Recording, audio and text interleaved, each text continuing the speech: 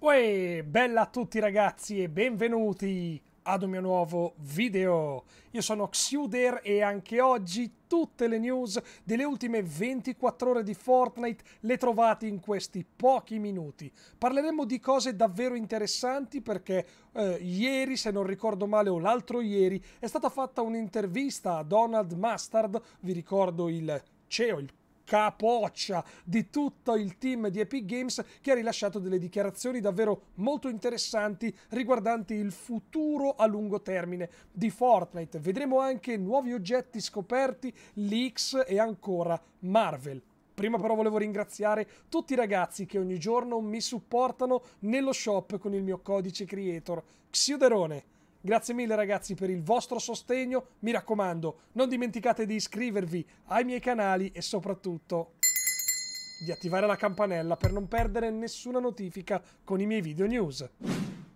E allora andiamo direttamente a parlare del primo argomento di oggi ed è proprio un oggetto che è stato trovato decriptato nelle ore di ieri pomeriggio ed è il Fire Extinguisher. Non so se l'ho pronunciato bene, ma è chiarissimo a tutti quello che è un estintore. Sì, ragazzi, è proprio un estintore. E voi dite che cosa ci dovrà fare questa cosa? È un'arma? No, è un estintore. Io credo, siccome non abbiamo assolutamente informazioni a riguardo di questo oggetto che verrà introdotto, non sappiamo quando, nel gioco, immagino che possa servire per contrastare ad esempio l'effetto della palla del Doctor Doom oppure dei barattoli incendiari quelli che succedono, quelli che eh, sono quelli delle lucciole, eh, quelli che raccogliamo. Potrebbe essere questo, non ci trovo un'altra, eh, un'altra funzionalità, non so neanche se verrà messo nello slot delle armi, però aspettiamoci di vedere anche questa nuova implementazione in game. E andiamo avanti a parlare del prossimo argomento di oggi perché oggi è uscita Baba Yaga. Questo video è registrato prima dell'uscita dello shop, ma dovrei averci azzeccato. Una delle skin di questo Fortnitemares 2020.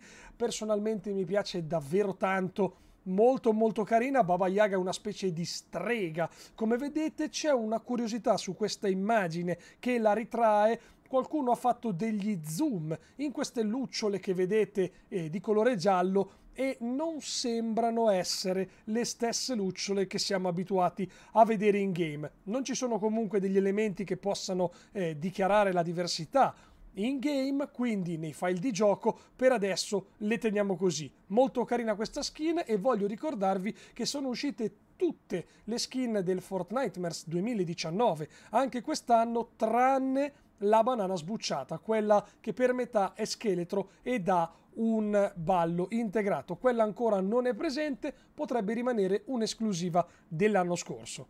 Andiamo avanti a parlare del prossimo argomento di oggi perché, come vi anticipavo, Donald ha rilasciato una lunga intervista dove ha spiegato un pochettino i progetti di Fortnite per quanto gli sia stato possibile ed ha cercato di rispondere alle domande dei giornalisti come vedete nel background vi sto, facendo, eh, vi sto facendo vedere Galactus che deve essere il punto centrale di questa season e lo diventerà. Lo abbiamo visto anche nel trailer quindi e soprattutto anche nel titolo della stagione 4 del capitolo 2, la eh, guerra per il Nexus. Quindi come sapete sono gli Avenger che dovranno combattere Galactus e se eh, traducete con, con attenzione questa frase di Donald eh, riassume che il Galactus in realtà era programmato per l'uscita su Fortnite già dalla season 1 del capitolo 2. Quindi stiamo parlando addirittura dopo il buco nero.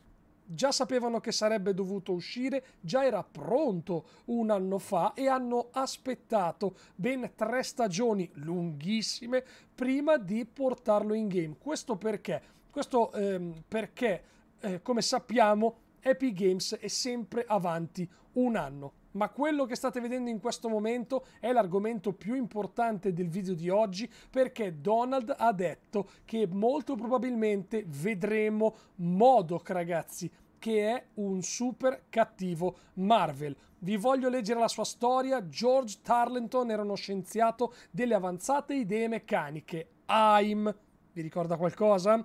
Che venne trasformato dagli scienziati delle organizzazioni nel super intelligente MODOK, Mental Organism Design Only for Computing. Il suo compito era studiare e migliorare le potenzialità dell'artefatto noto come cubo cosmico e anche qua un'altra assonanza ma, diventato ambizioso, Tarleton uccise i suoi padroni e prese il controllo dell'AIM. Ribattezzatosi MODOK, il suo primo avversario fu Capitan America, impegnato a salvare l'agente SHIELD Sharon Carter, rapita dall'organizzazione. Modok diventa un nemico ricorrente per Capitan America, combattendo l'eroe più volte, ma si scontra anche con Namor e con il Dottor Destino per il possesso del cubo cosmico. Nel tentativo di distruggere Hulk, Modok rapisce Betty Ross, trasformandola nell'arpia. La ragazza è l'alter ego del gigante di Giada, Bruce Banner. Fuggono su di un nido fluttuante dove lo scienziato riesce a curare dal suo stato Betty. Modok li raggiunge insieme alla squadra del Lime, arrivando in tempo per uccidere il guardiano, la Bibestia, ma attivando un meccanismo di autodistruzione che costringe tutti a fuggire. Successivamente Modok accetta l'offerta di essere ultradimensionale, noto come Lama Nero, partecipando alla guerra dei supercriminali, ma non riesce a vincere il premio quando viene sconfitto da Iron Man. Come vedete ragazzi ci sono tantissime eh, assonanze con la storyline, con quello che abbiamo visto, con quello che stiamo vedendo e con quello che probabilmente continuerà a connettersi. Donald dice sempre è tutto connesso sia dalla season 1 che dalla season 2 e questa continua a confermare ciò che dice. Quindi ragazzi staremo davvero a vedere. E andiamo avanti a parlare del prossimo argomento di oggi perché voglio ricordarvi e chiarificarvi una cosa. Lo, um, lo, school dancer, io ce l'ho in mente in italiano, in, in, inglese, non me lo ricordo in italiano, rimarrà nello shop fino al 2 novembre. Quindi perché è importante sapere questa cosa? Perché il 31 ottobre, ore 22 italiane, sul Party Royale, nel main stage, ci sarà il concerto di J Balvins. Questo signor qua, questo ragazzotto qua.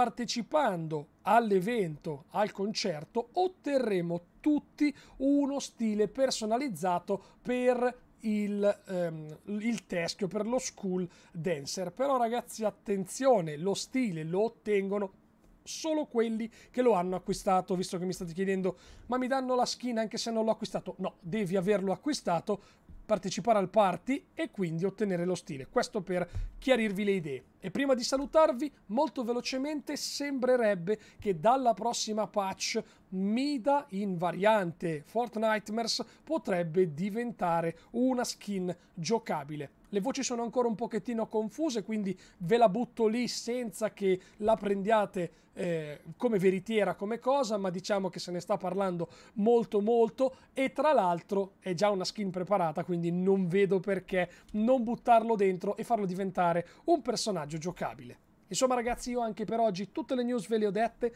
vi ringrazio tanto per aver guardato questo video, mi raccomando un bel like, iscrivetevi ai miei canali e me mi trovate in live su Twitch. Ciao!